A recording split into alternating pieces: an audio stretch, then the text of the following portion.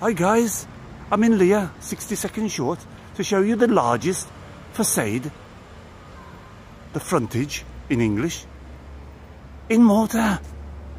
It could be the world, who knows? From my shaky mobile. There it is guys. We're in Lija. They've got some tunnel lighting there. This is Lija Church.